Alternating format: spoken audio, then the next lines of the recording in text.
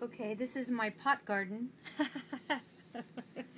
Except in my pot garden, I grow cabbages and sage and parsley and thyme and chard and lemons and limes. But look at one little pot. What have we got? Like one, two, three, four, five, six, seven, eight, nine. I just cut that one. Like 10 or 12 cabbages in one little pot, and they're so good. Do it.